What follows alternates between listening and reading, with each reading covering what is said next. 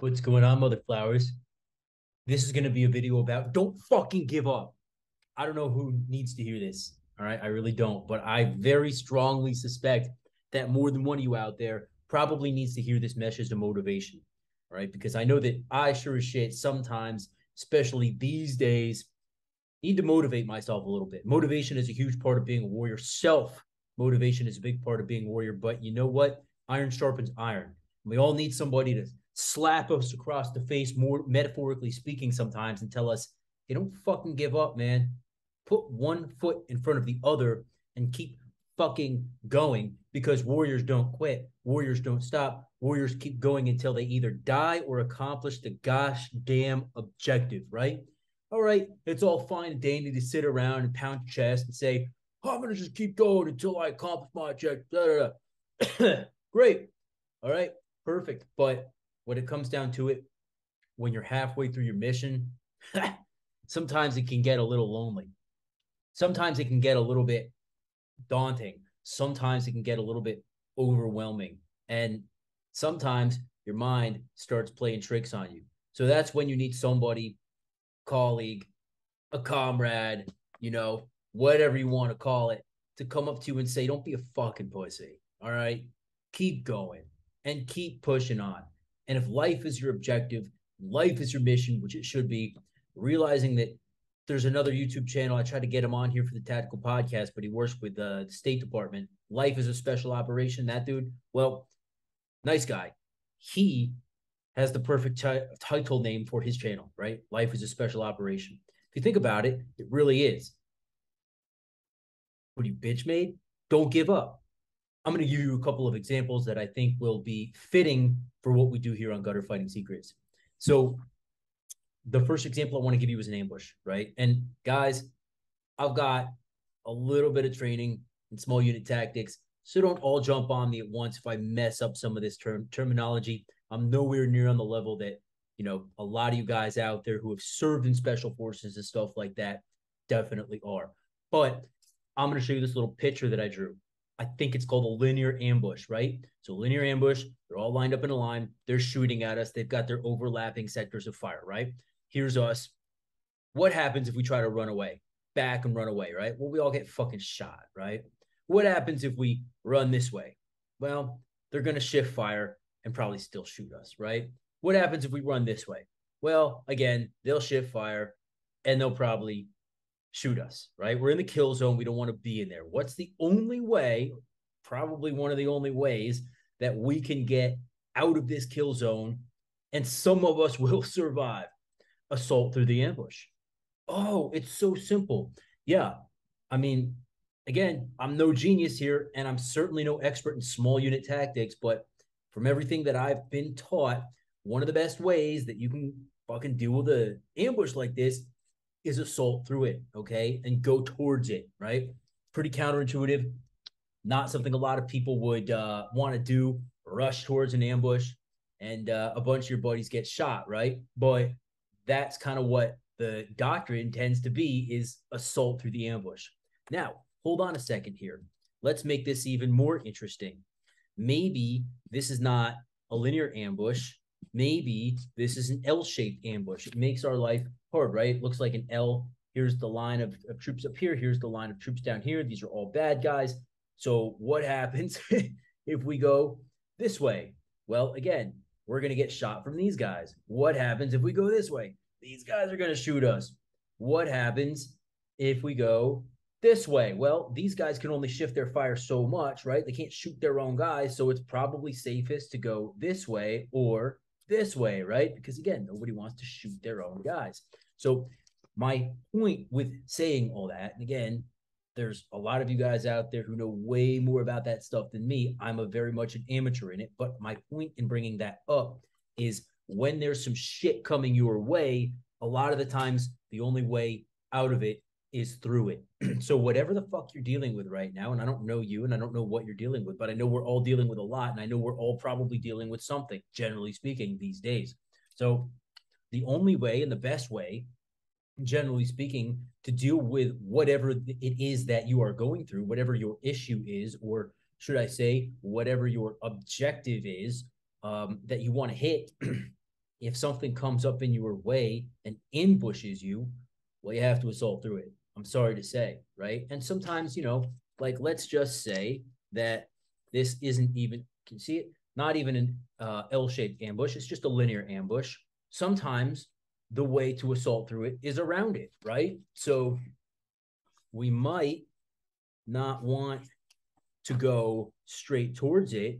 Maybe we'd want to go more and flank around it, right? And again, once we get to this side, there these these troops are going to have to shift formation and they might, but at the same point, that takes time. So my point being that sometimes you do need to slightly skirt around your problem, but attack it.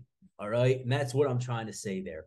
Now, another example that I will give is like a survival situation, right? Like, Lord forbid, you're out in the middle of the wilderness somewhere and you get lost or you get stuck out there. Well, what are you going to do? Sit down and wait for help? Well, what if you don't got a radio? What if you don't have a any way? No, no one knows you're out there, right? What are you going to do? You're just going to like sit there and wait to die? No, absolutely not. What are you to do? You're going to sit there and build a fucking teepee. Well, you're in the middle of the wilderness. No one's like looking for you. No one's coming. You're just going to hope that like in a year somebody happens to hike through. No, you're going to figure out, get oriented, and get moving, right? And they teach you in survival that it's really more about the will to survive, right? Even if you don't have a lot of survival training, but if you simply have the will to survive, the will to live, the will to get back home, well, you have a way better shot of somebody who doesn't. So, you know, you will figure out a way, you will literally figure out a way to survive or perish. And part of that equals movement, right? Movement is life. I'm sure you've heard that a lot uh, if you've ever been in the military. But again, in martial arts, same thing. Movement is life. Do we ever just, if someone's hitting us, do we just stay there and take it? Generally, it would be better to angle off and try to get, you know, get away from those punches. Or what? Assault through, right? Same principle. So you never want to just stay where you are. You want to keep moving forwards. Keep moving forwards and have that will to survive or that will to complete your objective. And if somebody comes in your way or something comes in your way, attack it, assault through it, and move forward. All right. Like movement is life. Remember that. That's metaphorical as well as literal. Now, another survival or another um, example I want to give you, if I can find my notes, is uh, like a ruck march, right? Like, I don't know how many of you guys have been on a ruck march, but we do force ruck march sometimes at uh, One Shepherd and they can kind of suck, you know, a little bit, a little bit into it. Um, you keep going. You, don't want to be that motherfucker that falls out. I can't take it. I can't take it. Like it's pride, right? So, you know, in that case, when it's a training situation, you certainly don't want to be that guy that can't take it. You want to be one of the boys or girls who is able to keep up with the rest, right? So that's a matter of matter of principle and pride. But my point with saying that is all right, like even if your feet are killing you, your fucking back hurts, like the fucking pack is so heavy, what do you do? You put one foot in front of the other and you keep going. Eventually, you're going to make it to a rally point. You're going to be able to rest for five minutes or whatever. Eventually, maybe you'll do a seals uh, sills halt, right? Stop, look, and listen, and you're going to have time to like kind of take a knee and catch your breath and then what do you do? You pick back up and you keep going. Does it suck? Yes. Does anybody like it? No. You'd have to be fucking crazy to really like it, but some people do. Um, but that's neither here nor there. Anyway, won't get into that. I really want you to be aware that, yeah, sometimes moving towards your objective just fucking sucks. A lot of the time, moving towards your objective just sucks and there's no way around it. But you know what? You deal with it you live for the moments that you can take those little breaks, whether it's a five minute sills halt or you get to your rally point, you're able to, you know, circle up and whatever, hold security for a little while while the TL does a leader's recon, whatever it is, right? And after that little rest, you take your little break and you keep moving forward until you reach your objective, whatever that objective may be. Right? Maybe once you reach your objective, you're fucking tired, but you assault through it and you take that objective and then afterwards there's a celebration there's a victory. You feel good you did something good you survived through it. Oh my gosh like that's so cool. You, you look at your boys and you're like did you see how we fucked those guys up? Yeah it was awesome right? That type of thing. Um, or maybe in a real world situation, you fucking, you know, you, you, you kill a bunch of bad guys and thank God I survived. Whoa, like adrenaline rush, right? So my point is after you suffer through the ruck march, right? Let's just keep using this example. After you suffer through the ruck march, you hit your objective. Well, what's next? Hopefully, hopefully, you know, you'll have a little bit of a rest. Maybe you'll go, you'll go back to your fob, or maybe you'll, you know, go back to your patrol base or whatever, and you'll take a rest, celebrate a little bit. Maybe you do it again, maybe you don't, whatever. But you hit your objective, you celebrate afterwards. Not until then, but you celebrate after you've completed your mission. And sometimes when you've completed your mission, there's a damn good cause to celebrate, and it's a lot of fun, right? Like, let's just use another example here altogether. Let's say that you run a business. I was talking with a dude at the bar tonight, and uh, he was, you know, saying, oh, my fucking business, my concrete business just isn't doing well, man. And I'm like, well, you know, we are in the middle of a technical recession here, this and that. We were talking a little bit. And he was saying, you know, look, I know I went to business school. I know that like a lot of businesses fail. I said, yeah, but okay, your business fails. Like, are you going to start a new business? Oh, I don't know, this and that. I said, you're never going to fucking make it if you're too afraid that your business will fail to ever like pick back up and keep moving. If you don't pick back up and keep moving, you're you're you're not going to see victory. You're not going to taste victory. Like have you guys ever sparred, right? Let's say jiu-jitsu, Muay Thai, MMA, Jeet whatever, right? Whatever type of sparring you do, physical sparring, you ever get knocked down or taken down? What do you do? You get back up. Or do you stay on the ground like a bitch and let him kick you? No, you get back up and you keep fighting, especially if it's the only if it's the only choice you have. Like if you're on the street or something, you certainly can't stay down. You have to get back up and keep fighting. And yeah, does it suck to get taken to the ground? Yeah. Does it suck keep having to keep get back up? Yeah. Is it psychologically fucking daunting when even you know your opponent's better than you at sparring or whatever? Yeah. Absolutely it is. But what do you do? You get back up and you keep going on that slim chance that you could win because a warrior fights to win. We don't fight to lose. We fight to win. And a lot of the time, it's good to take stock before you fight if you think you can win. All right. And sometimes it's a 50 50 shot, sometimes it's a 40 50 shot. And a lot of the times, if you think that there's a higher percentage chance that you can win, then yeah, you know, okay, I will fight. And if you know there's a higher percentage chance of losing, well, then maybe you don't fight. Maybe you try to retrograde or retreat or whatever, right? I think retreat would be the, the, the right term. Like an executive protection, right? What do you do? You come across an ambush, you don't, well, you don't generally try to assault through that ambush. I mean, it's depending, I guess, but typically they teach you to get the fuck out of there, right? Like do a J turn and go, or you know, Y turn, more like it. But